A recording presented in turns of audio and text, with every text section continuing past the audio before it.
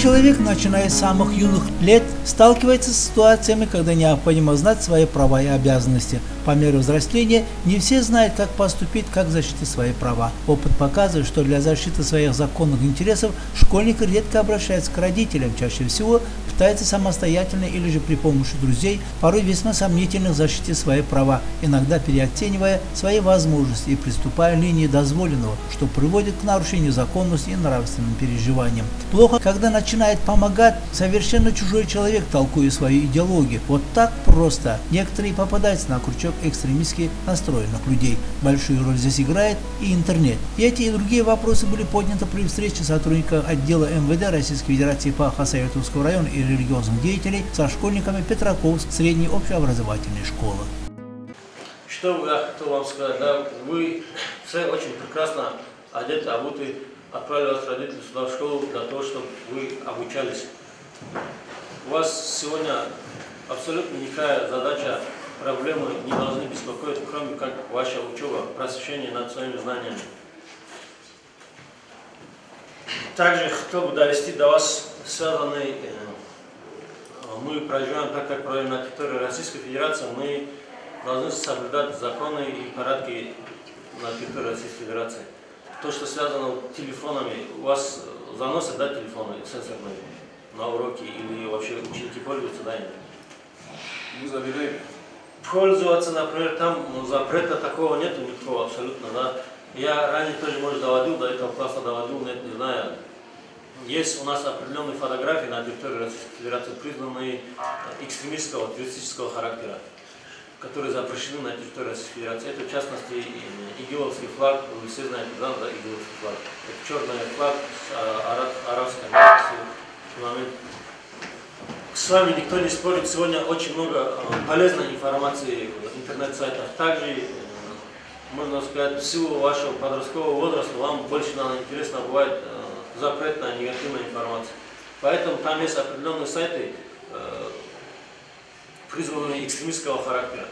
Я человек тоже не хочу назвать. У нас есть э, примеры, например, да, на территории района есть э, парень 16-17-летний, который Ростовский военный суд его осуждал за то, что он зарегистрировался э, в сайте, который ему, например, неизвестном, и там переписку вел с этими людьми, хотя этих людей он глаза не видел, просто поддерживал их переписку и переписывался. А этот сайт был как бы запрещен на территории Российской Федерации экстремистского характера.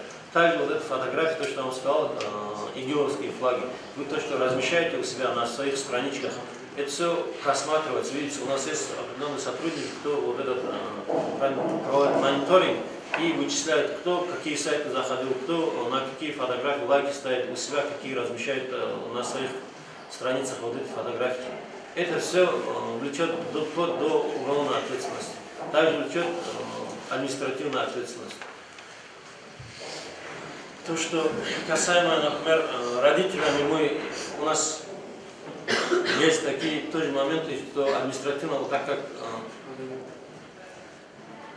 административная ответственность, все знаете, нам, да, какого возраста наступает?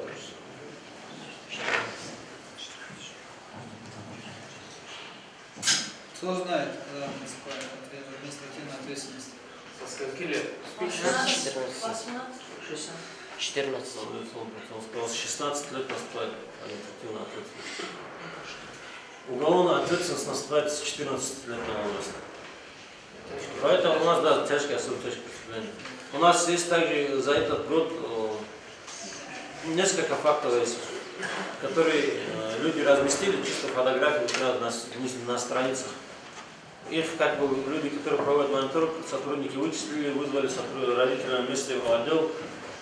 И в отделе они и родители, и сами несовершеннолетние подростки говорят, что они об этом не знали как говорится, незнание не освобождает от ответственности. Поэтому как бы протоколы составлялись и на несовершеннолетних самих, и на родителей, вплоть до э, постановки на учет несовершеннолетних. Но вам так скажу, то, что связано с учетом тоже, например, да, у нас э, по всей России база данных, информационный центр один. Если даже вы по окончанию школы будете устраиваться за пределы Республики Дагестан, любой престижный вуз, СУЗ, технику, к нам приходят запросы, такой-то несовершеннолетний состав на профучете имеет ли компрометирующий материал отношения вас. Естественно, раз если вы составили, мы не можем такую справку дать, что вы не составили. Это на вашей биографии положительно в любом случае не скажется. Это на всю жизнь как черное пятно на вашей биографии. Потому что вы всю жизнь на учете не будете составить.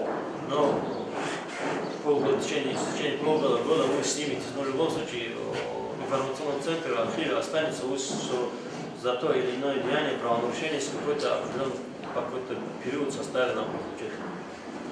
Поэтому к вам действительно просьба, можно сказать, да, прежде чем регистрироваться какие-то сайты,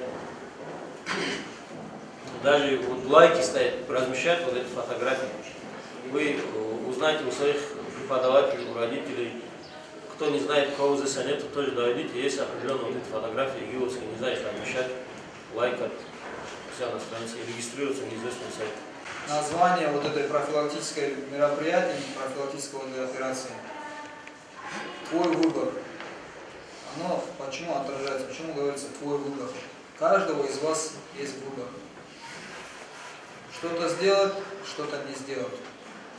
Прежде чем что-то сделать, и вы сомневаетесь, что это польза от этого, надо поинтересоваться, можно ли, нельзя ли, спросить его. Вот у нас а, ситуация какая бывает, когда кто-то заболел.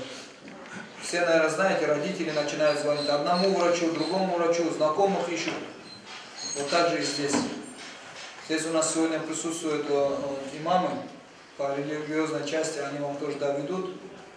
Э, хотелось бы добавить вот в отношении там э, тоже запрещенный. Есть специальный сайт, где вся информация о запрещенных фотографиях, не только фотографии, но есть и музыка тоже. Песни есть, которые запрещенные на территории Российской Федерации. И вот разместив в одну песню и в открытом доступе, если кто-то еще будет туда заходить к вам, это уже вы э, совершаете административное правонарушение. За это уже будет, получается, ваших родителей привлекать славный контроль. Поэтому как-то вот в этом, э, в этом плане. У нас есть такие э, случаи, когда дети вашего возраста уже как взрослые террористически направленные люди поехали куда-то совершать преступление. Там у них сидят очень серьезные люди, которые работают над психологией, они психологи сами по себе. И им, как бы, да, ваши, э, зайти в вашу, поменять ваше мировоззрение ничего не стоит. Самые ваши близкие, самые ваши лучшие друзья – это ваши родители. Поэтому, прежде чем сделать какой-то шаг, надо подумать сто раз. Вот а вот от этого хотел бы я уберечь. Интернет – это такая вещь, которую действительно можно принять очень много полезного оттуда извлечь, но и можно попасть в такую переделку, что потом на всю жизнь она будет аукаться.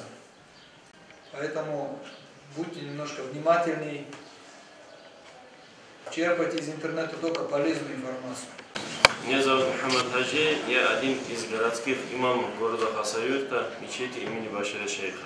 Каждый из нас должен осознавать и понимать, что он создан в этот мир не зря. Почему? Потому что каждый из нас должен пройти испытание.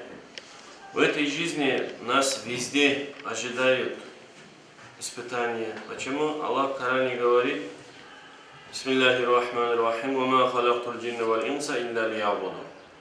Я не создал, говорит, ни людей, ни джинов, кроме как для поклонения. Но каждый из нас, живя в этом мире, должен осознавать и понимать, что он выбирает сам свою дорогу.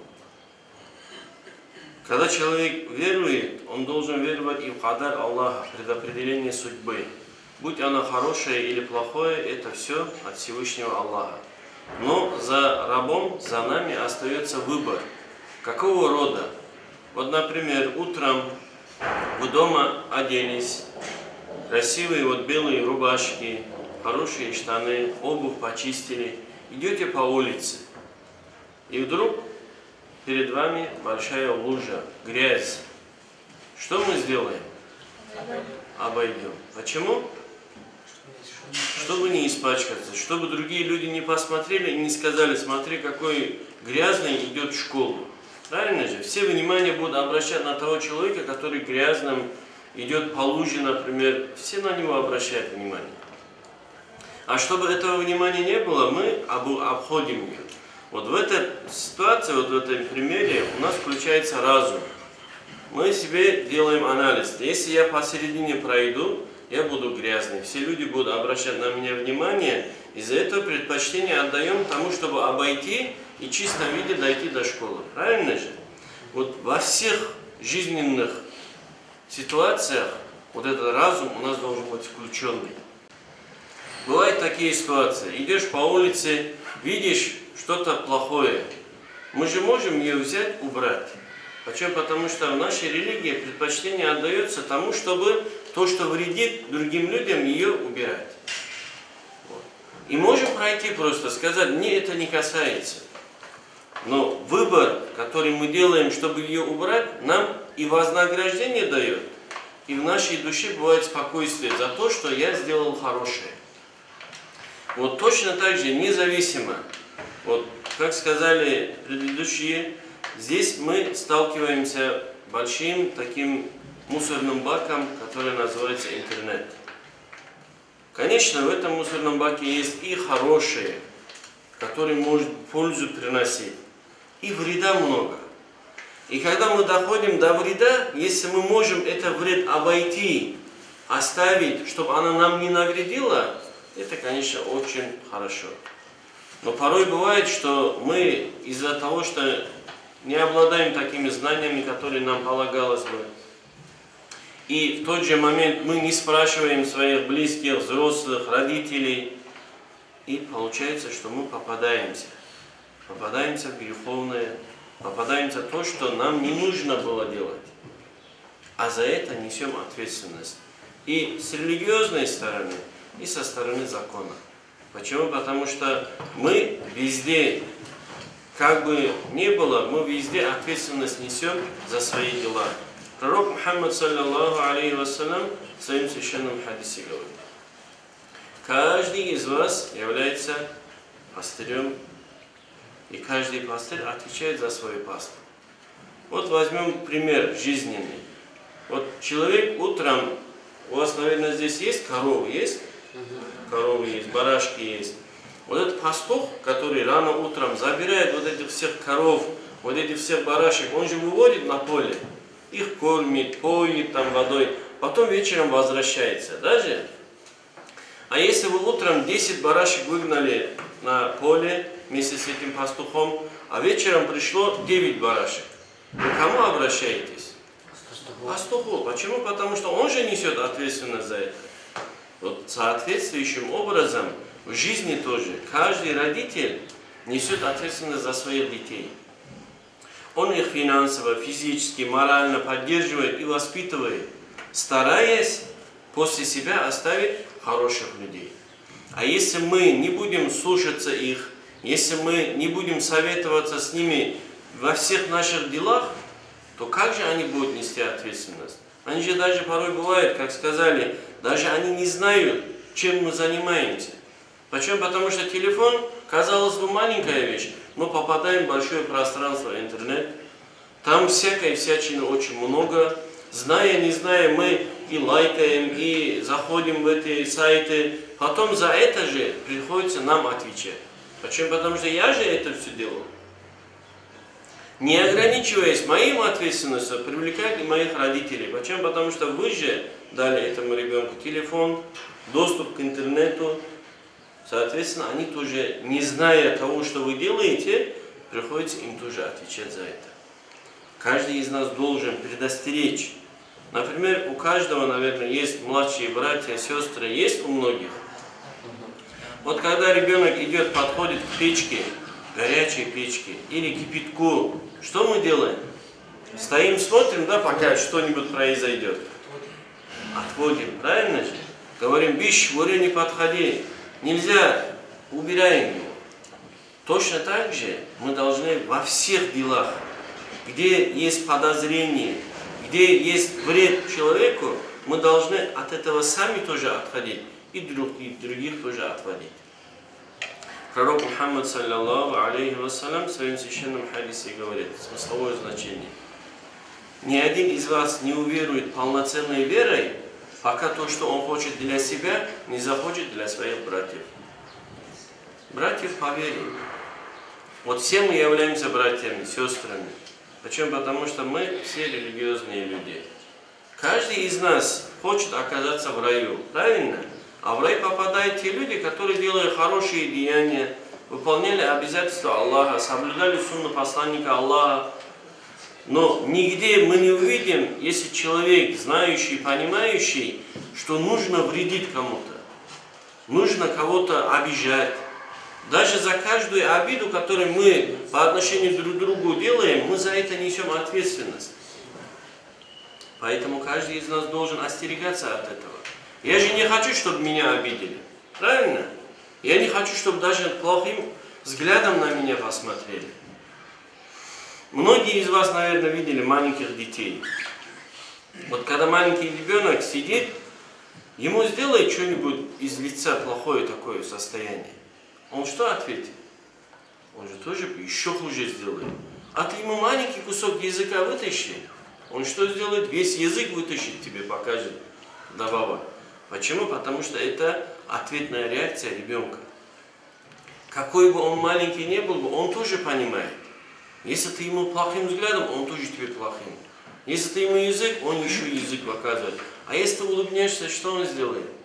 Он же тоже улыбается. Давайте будем улыбаться друг другу, чтобы было все хорошо в нашей жизни, и чтобы и здесь, и в загробном мире нам не пришлось отвечать за наши плохие поступки. Ассаламу алейкум ва рахматуллахи ва Поздравляю вас всех. Вот мы уже почти одна третья часть месяца Рамадан уже прошли. В таком месяце мы находимся, баракатно. И сегодня нам посчастливилось вместе с вами встретиться. Вы не думайте, что мы здесь сидим, мы большие ученые, алимы, весь дунья и весь маишат, все то, что на свете на нас висит. Мы тоже такие же люди, как вы, такие же муталимы, такие же ученики, которые учимся на ошибках других, которым мы занимаемся дополнительно своим знанием и берем себе полезные знания, чтобы быть достойными людьми, достойными мусульманами, верующими людьми среди общества. Просто по возрасту разные. Завтра, когда вы закончите школу, закончите свое учебное заведение, другие высшие или там средние учебные заведения, вы тоже будете на этом же месте сидеть и другим такие же лекции читать. Мы тоже сидели, как вы, там и слушали старших, и сегодня Аллах нам дал возможность сидеть здесь. Почему я это все говорю? Пророк Мухаммад саллаллаху алейхи говорит, вот, три человека должны усердно работать, чтобы были полезные знания. Полезные знания что такое? Это чтобы человек был нормальным, достойным человеком, который все берут с него пример. Не таким человеком, который видят этого человека, все остерегаются от него, боятся этого человека, даже просто боятся с ними, даже просто находиться. Потому что вред, который на этого человека идет, балак, который на этого человека идет, чтобы ты тоже не попал в эту категорию. Первый из этих категорий, первый из категорий, который пророк, саллаллаху который сказал, эти родители, которые должны усердно работать, усердно вести себя, чтобы вы получили знания. Это ваши родители. Ну, сегодня посмотрите, вот сейчас красивые лица, да? Вот хорошим, красивым обликом вы здесь сегодня пришли. Форма красивая, белая одежда, чистые, все у вас есть, сытые, еда, то, что вам необходимо для учебы, все вам дали родители. Дали же? Есть что они вам не дали, чтобы сегодня нормальный урок получить? Нет уже. Все дали, альхамдулилля. Это родители, они усердно работали, чтобы вы нормально учились. Втором месте стоит ученик, сам ребенок.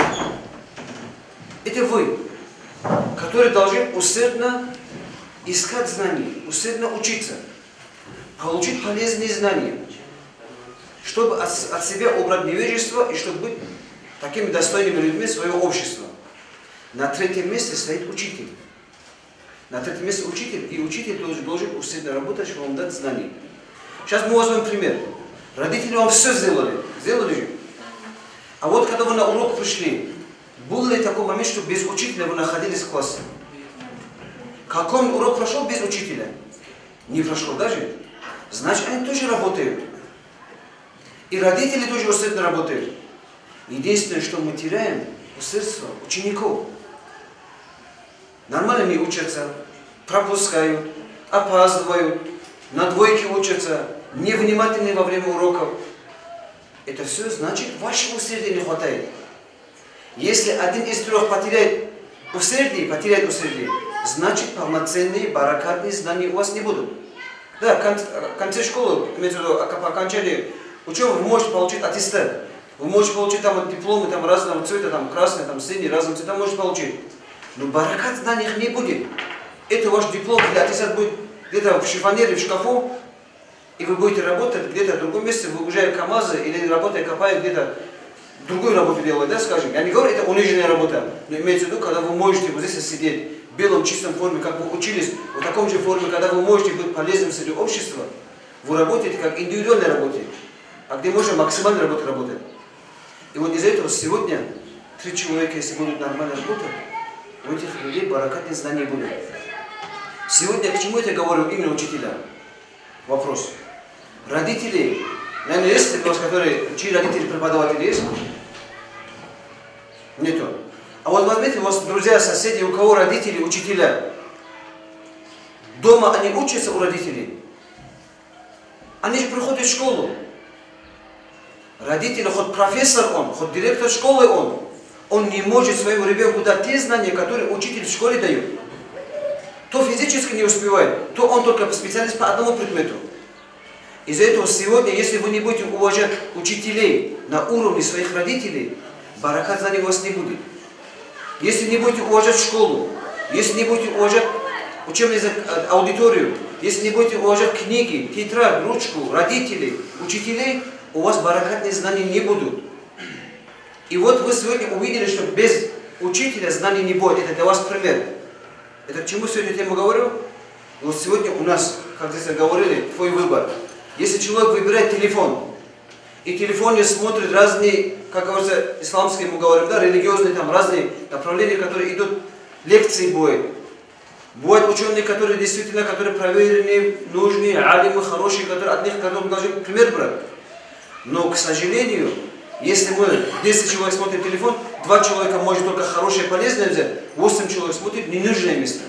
Может быть, сейчас это не понимаете, но лет через пять, когда повзрослее станете, когда школу закончите, кто-то в университет, училище, вы об этом подумайте. Это ваше будущее. Если вы там лайкнули, может вы не знаете, но все равно это уже э, административная ответственность. Статья 23 вы все равно хотите, наверное, поступить в будущем э, в серьезную организацию, госслужба, либо там силовая структура, либо серьезная компания. А там они всегда требуют справки с полицией. А если вы стояли на учете, это все равно отражается. Так что лучше подумайте, не надо заходить в какие-то сомнительные сайты. Лучше проверенные сайты там Хотите лайк поставить, поставьте лайк своему товарищу за фотографию. А так куда-то лезть лучше не стоит. Мероприятие, посвященное терроризму и экстремизму. И проводим беседы с детьми совместно с работниками ПДР. Они ежемесячно у нас и по нашей просьбе и сами приезжают. И также подключаем духовное управление имамов нашей мечети. Приезжает и из районного духовного управления проводим мы эти мероприятия и хочу подытожить, э, с ребятами мы очень таких э, дружеских отношений. Но они знают, субординацию соблюдают, кто такой директор, кто такой учитель. Э, есть между нами эта дистанция, но ребята понимают, что за их будущее ответственность несут только они. Если сегодня взять, поставить на учет этих ребят, Многие приходят э, к заучу, подходят э, к директору, подходят, Роман Абдулаевич, здесь мы здесь поступили некрасиво, здесь мы где-то допустили ошибку, извиняются. Ну, в таком формате у нас проводится это мероприятие. Но я хочу, э, ребята, вам сказать, как уже наши гости. Вы сказали вам свое предположение, свое мнение, что будет, что вы от этого получите. Эти инстаграмы, эти соцсети, которые э, вы, наверное, в какой-то степени, мы тоже не можем это все контролировать, но я подписан на своих учеников, у многих они знают, э, под контролем мы держим.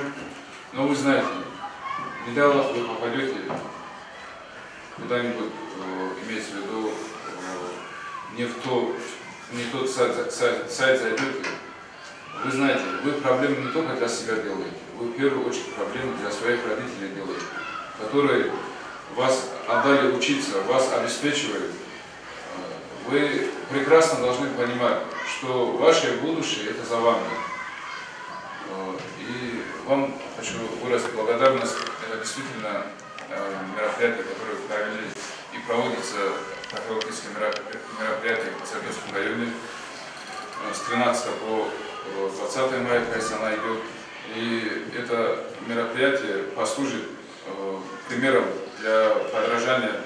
Я, как патриот страны, как патриот своей малой родины, я хочу сказать следующее. Мои дети, мои ученики, они настоящие патриоты. Они не подумают. Вам спасибо.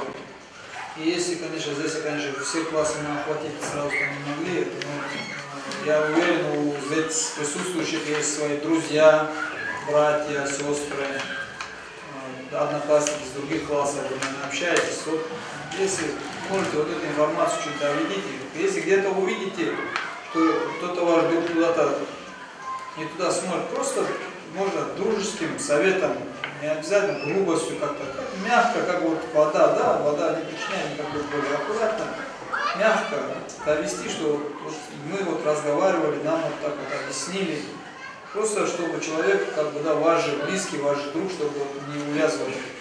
Вот эта, эта проблема, она действительно на долгие годы может так прилипнуть, что уже потом будете жалеть, когда вырастете, а вот в тот момент будете думать, а почему вот мне никто не посоветовал, мне никто не сказал. Поэтому я вас остерегаю от этих моментов. Вот э, когда идет обучение, вот как наш предыдущий говорил, что э, здесь в интернете вы можете написать вопрос задать, а вот так вживую общение вот с алимами, да, с теми людьми, которые вот, э, с сотрудниками полиции, с директором, живое общение это не заменить никаким интернетом. Уже э, в ходе общения вы видите глаза человека, лицо человека, как он к вам относится, как вот отвечает на ваши вопросы. Это же все не передашь через интернет. Поэтому вот как бы да, старайтесь в живом общении лучше получать знания, полезные знания, которые будут пользой для вас, которые, иншаллах, в последующем вы передадите своим детям. Каждый из вас, наверное, хочет э, вырасти, завести семью, детей, быть полезным для этой семьи. Поэтому вот э, посмотрите вот эти моменты, немножко быть немножко просто немножко осторожнее. Одним из ключевых направлений борьбы с террористическими и экстремистскими проявлениями в общественной среде выступает профилактика. Особенно важно проведение такой профилактической работы в среде молодежи, так как именно указанная среда в силу целого рода различных факторов является одной из наиболее уязвимых в плане подверженности негативному влиянию разнообразных антисоциальных и криминальных групп. Социальная и материальная незащищенность молодежи, частый максимализм в оценках и суждениях, психологическая незрелость, значительная зависимость от чужого мнения вот только некоторые из причин, позволяющих говорить о возможности легкого распространения радикальных идей среди молодежи. Такая встреча в формате нон-стоп новая, пока пробная форма взаимодействия представителей органов правопорядка религиозных деятелей подростками в стенах школы. Но учитывая тот интерес, какой школьники проявили к беседе работников, такие мероприятия, вероятно, станут постоянными.